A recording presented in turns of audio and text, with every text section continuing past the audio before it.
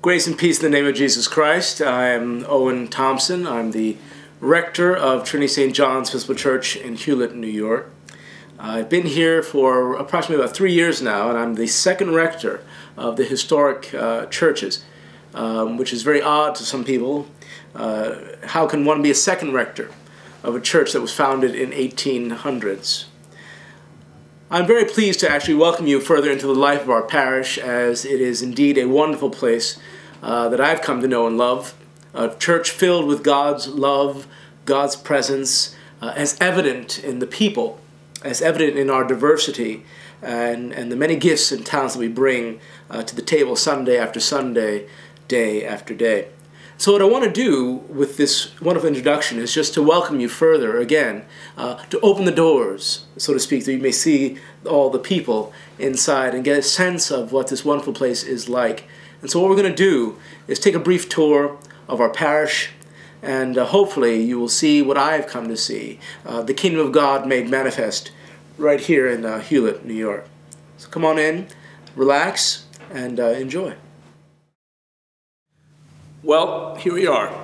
I'm in the sanctuary of the church uh, here at Trinity St. John's, and I'm currently standing in the aisle leading up to our beautiful altar and our beautiful chancel. Over to my right, you will see that we have the wonderful pulpit where I myself and other priests have had the privilege over the years of sharing God's word with the people in the congregation. Likewise, to my right, you'll see that we have our baptismal font that very sacred vessel where we welcome in new members into the life of the parish. And I, I, I just am overjoyed to imagine how many children and adults have been baptized and welcomed into this place throughout 18, what, almost 100 and some odd years of, of service here in the parish. And off to my left, we have the wonderful Eagle Lectern, where our lay readers read the Word of God to the people week after week. And over my shoulder, you'll see our beautiful chancel where the choir gathers. We have the great organ, uh, which is also a historic piece. And also, we have the altar, which is separated from the, uh, the chancel by the altar rail, symbolizing the movement from the world into the kingdom of God. It's very powerful. And as you can see in the back, which is the rood screen, we have the statue of Jesus Christ, Mary, his mother, and I believe it is John the Baptist on the far side, or his the beloved disciple, one of the two, I'm not quite sure yet.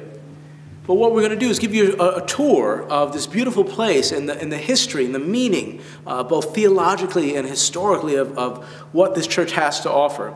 And it is indeed a beautiful place. Uh, I get that sense of God's kingdom every time I come into this place for worship. Uh, even now, as I stand here uh, and there's no service going on, I still feel this holy presence in this great place this parish. So we're going to take a walk around and we're going to look at the various things that we have from our stained glass windows.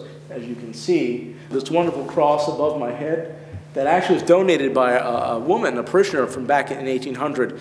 And we found out not long ago that in containing in the, in the arms, if you will, of the cross are her ashes, her remains uh, are here. So it's, it's quite fascinating. And uh, each piece uh, of this parish has a story in it because Trinity was its own church 30 some odd years ago. And then they joined together with St. John's in Far Rockaway, and so it became Trinity St. John. So each church contributes to this great blessing that we're all able to partake in. We really want to share that with you. So come on in, and again, let's take a look.